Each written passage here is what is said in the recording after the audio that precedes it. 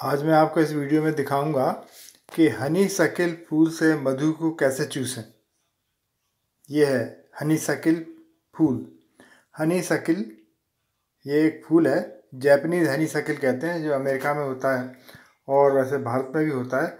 इसको देखें, इसकी पत्तियाँ, फूल मैंने तोड़ दिया, पत्तियाँ देखिए, इसकी अपोजिट है, एक दूसरे के विपरीत। तो सफ़ेद रंग का ये फूल है, चार पंखड़ी एक तरफ़ एक पंखड़ी एक तरफ़, पाँच पंखड़ियाँ। और ये देखिए, ये फीमेल पार्ट है इसका। ये मेल पार्ट है। ये भी मेल है। तो यहाँ पाँच मेल पार्ट दिख रहे हैं, एक फीमेल पार्ट दिख रहा। और इस ट्यूब के अंदर नीचे की तरफ़ ओवरी लगी है, जहाँ मैं घुमा रहा हूँ इसको। इसको धीरे धीरे घुमाएँ। और घुमाएँगे तो क्या होगा, ये ढीली हो जाएगी, नीचे से ओवरी तो जो फीमेल पार्ट आगे था, वो बाहर खिंच के आया है। आगे निकल के देखिए। तो ओवरी बाहर निकल आई और फीमेल पार्ट जिसे स्टाइल कहते हैं हम, आगे इसके स्टिग्मा है, पिस्टन की तरह तो वो सारा का सारा देखिए खिंच के आ गया। धीरे धीरे खींचते जाइए खींचते जाइए, लगातार लगातार खींचते जाइए और खींचिए और खींचिए। तो आगे से जो इसका स्टिग्मा है, पिस्टल की तरह, स्टिग्मा जो आगे दिख रहा है, आपको पिस्टन की तरह जो दिख रहा है, वो खिंच के, ये देखिए, ड्रॉप निकल आई।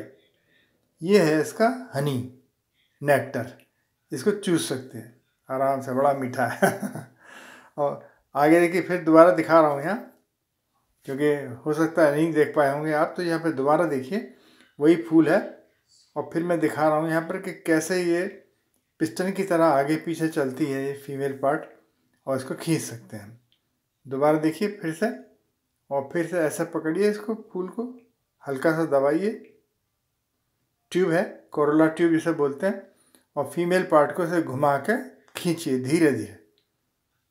ये तो देख रहे हैं अंदर फीमेल पार्ट घूम रहा है लेफ़्ट राइट घूम रहा है। तो जब ऐसे करके धीरे धीरे खींचेंगे तो एक लंबा सा धागा जो आगे दिख रहा है, वो पीछे की तरफ़ निकल के आ गया। ये देखिए, आगे निकला। और ये ओवरी दिख रही है, पीछे फीमेल पार्ट दिख रहा है और आगे आगे भी दिख रहा है। इसको आगे भी खींच सकते हैं। ये देखिए, आगे खींचिए तो पीछे वाला पार्ट आगे खिसक गया। ये खिसक गया। ये फीमेल पार्ट आगे दिख रहा है। और अगर पीछे से खींचेंगे तो आगे से ये खिसक जाएगा। तो पिस्टन की तरह काम करता है तो जब पिस्टन की तरह काम करता है तो अंदर जो भी कुछ ये जो नेक्टर होगा, मधु होगा, वो चुसके बाहर आता है। और फिर पीछे की तरफ़ आप मुँह लगा के इसको चूस सकते हैं। चूसेंगे तो बड़ा मीठा, बहुत ही अच्छा टेस्ट है इसका। जहरीला नहीं है, बिल्कुल। लेकिन ये पौधा जैपनीज हनी सगेल होना चाहिए, ये ध्यान रखिएगा। ये देखिए, निकल आया नेक्टर